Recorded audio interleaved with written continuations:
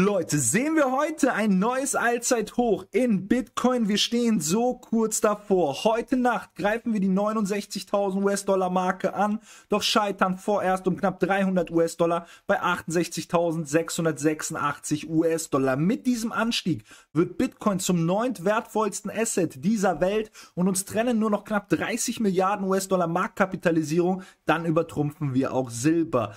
Gestern kamen erneut Inflows in die Bitcoin Spot ETFs in Höhe von 562 Millionen. Sehen wir diesen Wert am heutigen Tag, sage ich euch, es ist Zeit, das Allzeithoch zu brechen. Genauso wie in 14 der 20 größten Währungen weltweit. Gestern war der Euro dran, neues Allzeithoch. Und wie es hier geschrieben steht, ist es nur eine Frage der Zeit, bis der US-Dollar dran glauben muss, Leute. Ebenfalls haben wir gestern über die ersten Bullrun-Signale gesprochen. Heute zeige ich euch weitere On-Chain-Indikatoren Indikatoren, die signalisieren, wir haben noch jede Menge Luft für den nächsten Anstieg. Ebenfalls rückt die Coinbase App auf Rang 100 vor im App Store. Der Retailer ist da und all das 41 Tage vor dem Halving. Alles, was du jetzt wissen musst zum Bitcoin-Preis, wichtigste Preislevel, nächste Liquidation-Level etc. und Co., das bekommst du an die Hand hier im heutigen Video. Falls dir gefällt, gerne den Like-Button smashen. Falls du neu bist auf der Crypto Wall Street, gerne rein abonnieren, tagtäglich von diesen Informationen profitieren und bestens vorbereitet mit uns in den Trading Tag starten. Und erst einmal einen großen Shoutout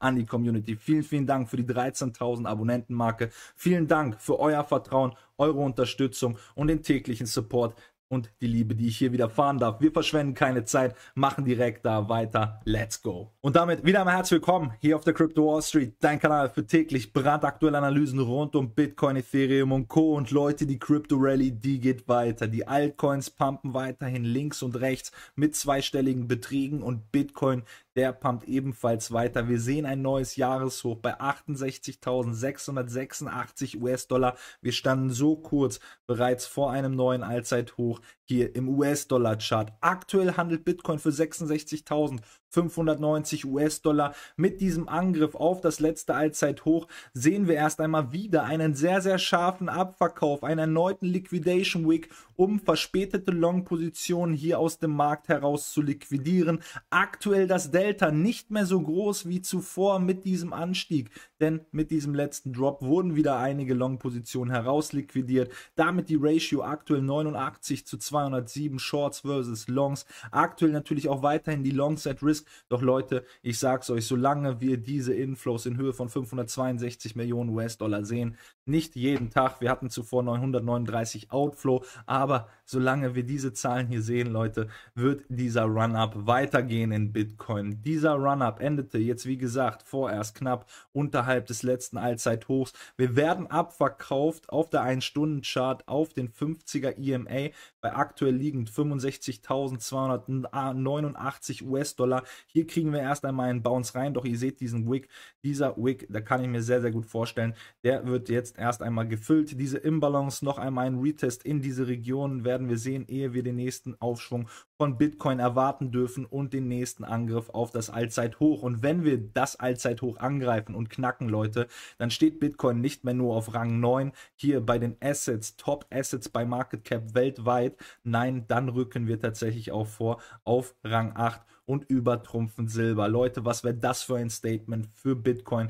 Wir hätten dann als nächstes Alphabet, Google, Amazon, Saudi Aramco und Nvidia im Visier, ehe es dann in die Regionen. Früher oder später wird es soweit sein, hier oben dann landen werden. Also sehr, sehr spannende Zeiten aktuell. Wir haben darüber gesprochen im Intro, ein neues Allzeithoch in 14 der 20 größten Währungen weltweit. Wir sehen Allzeithochs bereits im Japanese Yen, Australian Dollar, Canadian Dollar, Chinese Yuan, New Zealand Dollar, Swedish Krona, South Korean Won und jetzt gestern waren in diesem Fall ebenfalls dran der British Pound Sterling und vor allem der Euro, Leute. Wir sehen ein neues Allzeithoch im Euro. 63.359 Euro. Hier liegt das neue Allzeithoch von Bitcoin. Und wie beschrieben im Tweet gestern, es ist nur eine Frage der Zeit, bis der US-Dollar dran glauben muss. Wie gesagt, wir stehen knapp unterhalb des Allzeithochs. Bitcoin handelt aktuell für 66.488 US-Dollar. Es sind sehr, sehr volatile Zeiten und deswegen auch klare Ansage meinerseits gestern. Obwohl wir jetzt hier die Bitcoin Bullrun-Signale reinbekommen, es ist bestätigt, Leute, der Bullenmarkt, der ist gerade voll in Fahrt. Habe ich gesagt, seid bitte vorsichtig mit euren hohen Hebeln. Während dieses Anstiegs wird es immer wieder volatil werden und es werden auch immer mal wieder solche Liquidation Weeks vorkommen und vor allem, wenn man sich dann mit hochgehebelten Positionen im Markt befindet, 30, 40, 50, 100 X-Positionen, dann wird so ein kurzer Rücksetzer sehr, sehr schnell zur Liquidierungspreisen führen, denn hier sehen wir einen Rücksetzer in Höhe von 5%. Hättest du das Top mit einem 5, äh, 20er Hebel geschortet, wärst du hier bereits liquidiert worden, deine Position zunichte gemacht. Von daher, klare Ansage gestern meinerseits, wer hier mit Hebel arbeiten möchte, der sollte sich langsam in den Markt, ebenfalls wie bei Spot, rein akkumulieren, mit kleinem Hebel starten, kleine Positionen aufmachen. Gestern über ein signifikantes Level gesprochen, über die Breakout-Kante von 64.000 US-Dollar. Gilt natürlich weiterhin, Leute, das ist soweit erst einmal aus Chartsicht ein sehr, sehr wichtiger Support, den wir jetzt haben, 64.000 US-Dollar, als auch natürlich immer der EMA hier in der 1-Stunden- Chart, in diesem Fall der 50er EMA. Heute sehr, sehr wichtiges Preislevel, die 65.280 US-Dollar Marke. Hier sind wir vorhin, oder ja, letzten Endes war es vorhin, heute um 6 Uhr morgens draufgefallen. Und wie ich eben bereits gesagt habe, kann ich mir diesen Retest dieser Region noch einmal vorstellen, diesen Wick füllen, ehe wir dann den nächsten Aufschwung von Bitcoin erwarten dürfen. Was spricht ebenfalls für diesen erneuten Retest des 50er EMAs, diesen Drop und dann den Bounce, die Liquidation Heatmap aus der 12-Stunden-Chart? Denn wir haben soweit erst einmal ein kurzfristiges Liquidation Cluster hier reinbekommen. Geht runter bis 65.725 US-Dollar, was ungefähr hier die Mitte dieses Wicks signalisiert. Dementsprechend Liquidität kurzfristig nach unten hin abzugreifen, doch dann, Leute, ihr seht, wir haben neue frische Liquidität knapp oberhalb des letzten Allzeithochs bekommen, startet bei 68.850 US-Dollar und reicht hoch bis 71.000 US-Dollar. Dementsprechend rechne ich auch am heutigen Tag, wie gesagt, wenn wir diese Inflows wieder sehen sollten von den Bitcoin Spot ETFs, aller maximal diesen Drop Richtung 65.288 US-Dollar respektive Retest 64.000 US-Dollar. Hier sollte dann aller spätestens die Trendwende dann soweit erst einmal wieder eingeleitet werden für den heutigen Tag. Dementsprechend ebenfalls zwei interessante Level für einen kurzfristigen Long Trade. Bevor wir uns jetzt gleich noch die Indikatoren auf den verschiedenen Zeiteinheiten anschauen, lasst uns über Folgendes noch einmal kurz sprechen. Gestern hatten wir über die ersten Bullrun-Signale gesprochen. Falls du das gestrige Video nicht gesehen hast, schaust dir unbedingt noch einmal an. Sehr, sehr werthaltige Informationen und vor allem auch den letzten Livestream vom Sonntag. Hier findest du jede Menge Altcoin-Analysen. Da wirst du fündig. In diesem Fall gestern ausgemacht. Wir bekommen die ersten Bullrun, Bull-Market-Signale rein. In diesem Fall hier in Form des MVRVs. Der signalisiert, okay, wir sehen jetzt den Start des Bullruns. Das letzte Mal, als wir diese gelbe Kerze reinbekommen haben, standen wir in diesen Preisregionen und dann kam es zum maximalen Run-Up. Ebenfalls möchte ich euch heute hier noch einmal den MVRV in Form einer anderen Visualisierung vorstellen, der ebenfalls hier soweit erst einmal in diesen Bereichen liegt. Doch was signalisiert hier dieser Chart? Wir haben noch jede Menge Strecke zu gehen, vor allem aus dieser Indikatorensicht. Erst wenn wir in diese roten Bereiche vorgestochen sind, haben wir immer wieder dieses Blow-off-Top lokale Hoch von Bitcoin Allzeithoch gesehen. Der Markt hat sich danach zurückgezogen. Doch ihr seht, wo wir aktuell stehen noch maximal unterhalb dieser roten Box, was signalisiert, es ist aktuell erst der Start des Bullruns. Gut, was sagen uns jetzt die weiteren Indikatoren, wie die EMAs, wie der RSI oder der MACD? Hier in der 4-Stunden-Chart liegt der 50er EMA aktuell bei 61.000 US-Dollar, also unterhalb unserer wichtigen Tagessupports. Dementsprechend soweit erst einmal ein mittelfristiges Level, so möchte ich es nennen. Der RSI aktuell im überkauften Bereich neigt jetzt gen Süden und ebenfalls auch hier im MACD in der 4-Stunden-Chart geht nach einem erneut positiven Crossing aktuell das Momentum verloren. Das Coinbase Premium, Leute, das ist weiterhin maximal auf Anschlag. Über 100 US-Dollar zahlte man gestern auf Coinbase, um genau zu sein, 128 US-Dollar im Durchschnitt für einen Bitcoin auf Coinbase mehr als auf Binance. Dementsprechend die Coinbase-Nachfrage weiterhin maximal vorhanden. Im 1-Stunden-Chart RSI haben wir mit diesem letzten Rücksetzer bereits jetzt vom RSI etwas resettet. Wir sind in den mittleren Regionen angekommen.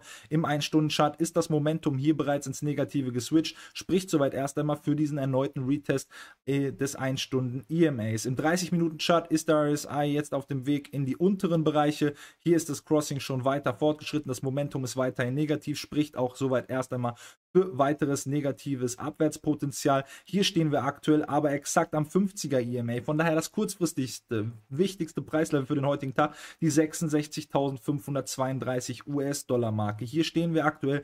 Fällt dieses Level, Leute, macht euch bereit auf den Retest des letzten Drops von 65.000 US-Dollar und dementsprechend auch den 1-Stunden-EMA. Hier im 15-Minuten-Chart stehen wir bereits unterhalb des 50er EMAs und hier kommt der 200er EMA auch schön in Konkurrenz und Harmonie mit diesem letzten Drop, mit dem letzten Tief rein. Hier im RSI versuchen wir gerade einen doppelten Boden zu bilden, ist noch nichts bestätigt. Das Momentum im MACD weiterhin negativ, von daher hier soweit erst einmal auch äh, signalisierend Retest weiterhin möglich dieser unteren Regionen und hier im 5-Minuten-Chart RSI neigt jetzt dazu, im überverkauften Bereich anzukommen. Momentum im MACD negativ. Von daher spricht einiges dafür, für diesen heutigen Trading-Fahrplan, den wir besprochen haben. Retest dieses EMAs, Bounce respektive aller spätestens hier dann an der 64.000 US-Dollar Marke. Von daher liegen hier die Point of Interest aus der Long-Seite. So, das wäre soweit erst einmal mit dem heutigen Update zu Bitcoin. Sämtliche Infos, die du jetzt brauchst, solltest du an der Hand haben. Falls dennoch irgendwelche Fragen offen geblieben sind, schreib sie mir gerne unterhalb dieses Videos in die Kommentare oder join auch gerne unsere kostenlose Telegram-Gruppe. Ja, kostenlos. Link in der Videobeschreibung. Dort hast du die Möglichkeit, dich tagtäglich mit 3400 Mitgliedern, Kryptoinvestoren, Analysten, Tradern als auch mit mir zwischen diesen Videos in den Interaktion zu treten. Ansonsten hoffe ich, dass dir das heutige Video gefallen hat, ich Mehrwert liefern konnte. Falls dem so ist, würde es mir einen riesen Gefallen geben, einmal den Like-Button zu smashen und falls du neu bist, gerne rein abonnieren und tagtäglich von diesen Informationen profitieren. Jetzt einen wunderschönen Dienstag, Leute. Macht es erstmal gut. Bis dahin. Ciao, ciao.